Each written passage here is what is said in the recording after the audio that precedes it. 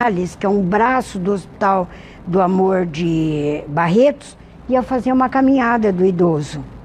Aí eu entrei em contato, descobri a menina, ela abriu para outros municípios estarem participando dessa caminhada do, do idoso e eles distribuíram camiseta, uh, uh, boné, um, protetor solar e durante todo o dia teve atividade voltada para o idoso.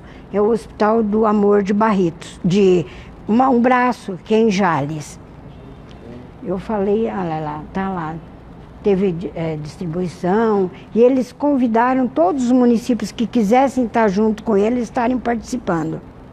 E aí eu imediatamente entrei em contato com o, o nosso educador físico de Jales, que é o Idair, falei, aproveita e entra junto. E aí ele se juntou a eles para fazer uma grande caminhada nesse dia. Pode passar? Aqui alguns municípios, ó, Santa Fé do Sul fez um convite né, para a atividade em comemoração ao Dia do Idoso. Olha, Dolcinópolis, Indiaporã, todos eles fizeram seu próprio cartaz Eu, Dolcinópolis falando. estava lá, né? Estava, Dolcinópolis, Indiaporã, estavam. Aqui, ó, é o Santa Clara do Oeste. Eles levaram os idosos para uma atividade no Dia do Idoso. Esse lugar é fantástico para se conhecer. É maravilhoso. É, uma, é um município bastante pequeno, uns 4 mil habitantes. E tem essa, esse, esse termas. É maravilhoso, gente. Vale a... Santa Clara do Oeste. É pertinho de Santa Fé do Sul. Quase, quase Araçatuba, né? É maravilhoso lá. Até meu netinho e meu filho vão para lá, que ele vai fazer dois aninhos, vão passar lá esse, o final de semana que vem. É, porque ali é uma região dos lagos, né? Os grandes lagos, a, a região, que é o Rio Grande e o Rio pa, Paraná, Paranaíba, que forma o Paranazão. Lá então é uma região de muita água. No treinamento, no, aí nós vamos, Júnior. Tá. Então. É, muito bom. É só para falar com o interlocutor. Aqui é, aqui é o município de Macaubal, Fabiano. Fabiano, que é a Marielle. Olha eles, né? Todos com camiseta do Agita Macaubal. Eles têm a camiseta. Esse aqui, ah, esse aqui é Santa Fé do Sul. Essa menina é fantástica, a Silvia, a japonesinha. Ela faz um movimento muito grande, o Agita Idoso de Santa Fé. Pode passar? Aqui Santa Fé de novo, fazendo a dança circular. Aqui é Mesópolis, é um município muito ativo. Eles fizeram forró, fizeram sorteio, eles trabalharam muito no Agita Idoso. Aqui, ó, fizeram a, as. Olha lá, segundo forró do idoso e deram para cada um. É, terceira idade. Pode pedir essa medalha que eu preciso. Tá, vou pedir para eles. O Agita Idoso, olha lá. Medalhinha mesmo, deram para todos. Não, era medalha mesmo. Tá. Hum, que boa ideia. Aqui é, olha, para minha surpresa, o município de Cardoso era um município totalmente apagado. Foi o Misael, aquele careca, que ele é professor de capoeira. Ele hoje está com uma atividade muito grande em Cardoso. Aqui é um, foi no dia do idoso, fazendo atividade na rua com, com os idosos. E ele foi para São Pedro? Nome não? Foi, Foi? foi, Misael foi. Misael foi para São Pedro. Aqui é Monções, tá vendo que eu falei para vocês que Monções fez a dança circular, olha lá, Prefeitura Vida Longa Vida Ativa, Dia Internacional do Idoso, fizeram a caminhada. Foi quando teve a dança circular que ela chamou a, a Lilian, né? Lilian, de, de Araçatuba. Liliana Liliana. Lilian? Ela foi lá. Aí, dança circular deles, né? Aqui um aqui, deixa eu ver, Indiaporã. Indiaporã, aqui é São João de Iracema, olha lá, o Agita São João de Iracema. É um município pequenininho, infelizmente a gestora aposentou, que era uma que dava todo o apoio, eu acho que a próxima que vai entrar também vai dar. Quem foi foi a fisioterapeuta de São João de Iracema. Pode passar. Aqui é um outro município que eu não me lembro qual deles que for, fez. Acho que foi em Diaporã também. Pode passar. Aqui é um município pequenininho, Guarani do Oeste. É o Marcos, que dançou comigo o tempo inteiro lá do baile. Marcos.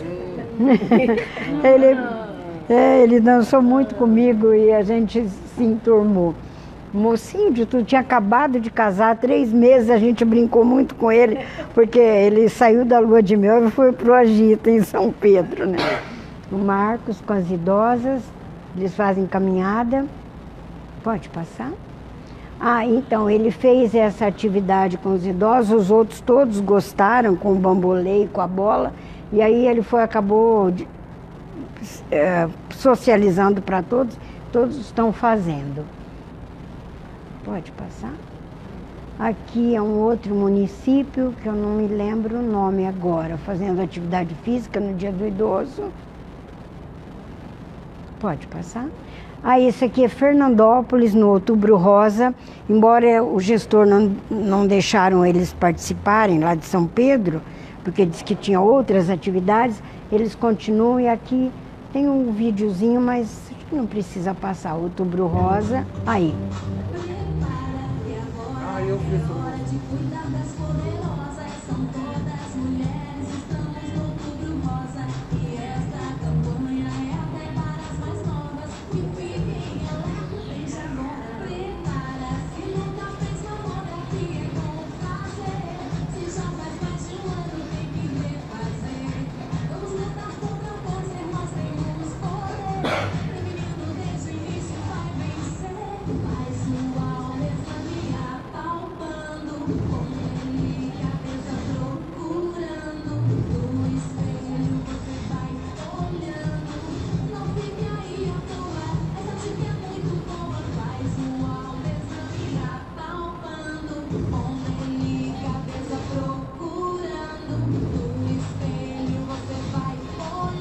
quiser parar, se quiser parar. Isso aí foi Fernandópolis e aqui, ó, para minha surpresa, era um município que não participava, estava lá, né? E hoje vai estar também, vai estar com a gente na ouvidoria. É o município de Estrela do Oeste. Será que dá para passar? Tem um videozinho. Não sei se. Aí. Cadê tá tendo? Parece que eu gosto até mais dessa, Cidinha. Como é gostosa, não é? Estrela do Oeste. É uma fisioterapeuta e uma educadora física.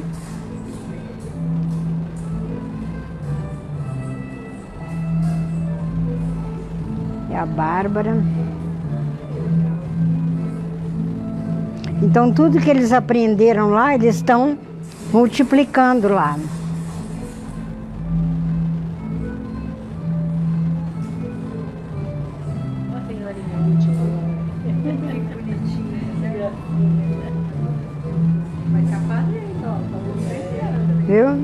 Foi muito bom, né?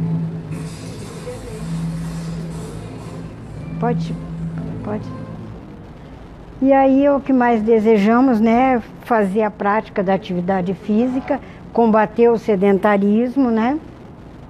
Como, para quem e quando, né? Eu acho que para todas as idades, né? Muito bem, Cidinha. Pode. Esse vídeo rodou minha cidade inteira. Então esse mês eu lancei essa coreografia, acho que mais 5 BS pelo meio da rua, foi um sucesso. Então agradeço as nossas colegas. Então, tudo foi muito bom. Eu não tive nenhum, nenhuma, assim, falar o que eu não gostei. A única coisa que às vezes alguém comentou foi aquele momento que a gente teve eh, numa sala, lembra que a gente foi. O único senão foi aquele que eles comentaram. Do resto, pedindo pelo amor de Deus, nós vamos ter que voltar e fazer muita atividade física porque engordamos. Engordaram? Todo mundo. É, Não, quem estava no intermediário não sofreu disso. não, Teve muita Sofreu, atividade, quem né? estava no intermediário não sofreu. não sofreu. Foi prática o tempo inteiro. né? Até Morri. Então eu acho que tudo. A única coisa foi aquele momento, mas depois disso daí todo mundo veio feliz no ônibus, está feliz. Estão perguntando tudo se vai ter 2020. E Eu você falei, Tem ou não tem? tem. Mesmo porque depois eu posso estar saindo. Não, não começa. E, e daí eu. Você sai mais volta, Cidinha, não tem jeito. A gente não sai de você, a gente faz igual fez com a É. é. Coitado, tem que se aposentar e a gente não Então eu acho, Júnior, que não teve. A única coisa foi isso, porque o pessoal veio maravilhado. E, eu te- e logo depois eu fui para todas as CIR e perguntei para os gestores se, quem, for, quem foi para São Pedro, se eles voltaram e deram uma. falaram. Todos os gestores falaram que eles falaram maravilhas e que se tiver novamente vão liberar é, os que ficarem, porque muitos vão ficar, porque vai ter muitos prefeitos que vão para reeleição. Então, aqueles que ficarem e ganharem a nova eleição vão continuar com os mesmos gestores. Os que trocarem, aí é um trabalho da gente voltar para CIR e fazer 21. É 21. 21. daí, né? Então, Porque 20 ainda 20 são ainda nós estamos com os Tá mesmos. bom, gente, vocês já estão me convencendo. Bom, enquanto só tira o microfone, obrigado, viu, Cidinha? Eu vou pedir pro Rafael só explicar pra vocês esse questionário. Tá. E aí ele vai passar